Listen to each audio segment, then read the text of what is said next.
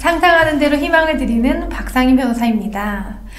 자, 저희가 사전 처분하면 가장 많이 신청하는 게 양육비거든요. 네. 음, 전업주부로 아이 키우고 하셨던 분들이 이혼 소송을 하게 되는 경우에 아, 내가 경제적으로 무능력한데 이런 고민들을 많이 하시잖아요. 네.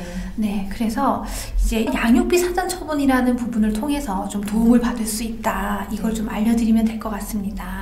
자, 양육비 사전 처분이 뭐죠?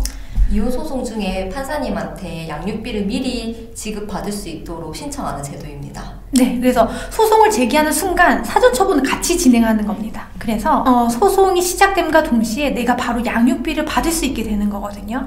저희가 통상적으로 1인당 월 100만 원 정도 청구를 하게 되면 실제 인용되는 금액은 한 50에서 70만 원 정도 되는데 적어도 50에서 70만 원 정도를 따박따박 받아가면서 이제 길고 긴 이혼 소송을 준비하는 거예요.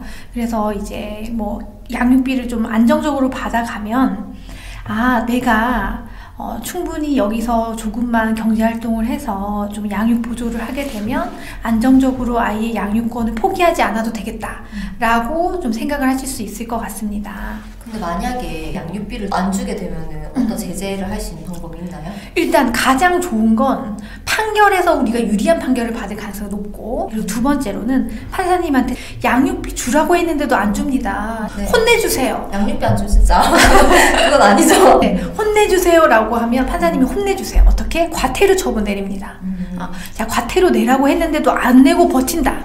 그러면 판사님이 어떻게 혼내준다? 아예 가. 어, 가둬버려요. 네. 어, 자, 두 번째로 저희가 또 사전 처분으로 많이 하는 게 면접 교섭이죠. 네.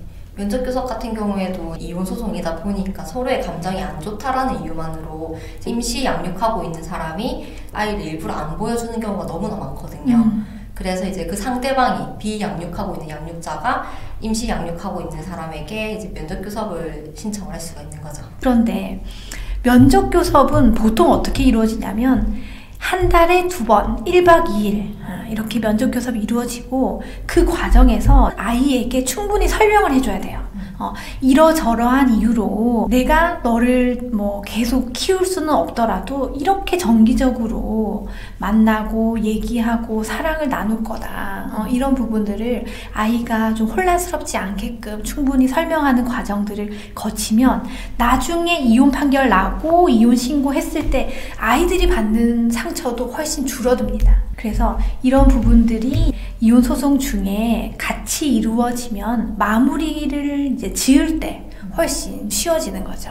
저희가 오늘은 이제 이혼 소송과 더불어 함께 이루어지는 사전 처분에 대해서 좀 설명을 드렸고, 어, 이런 부분들을 잘 아시고 이혼에 좀 도움이 되셨으면 좋겠습니다. 네.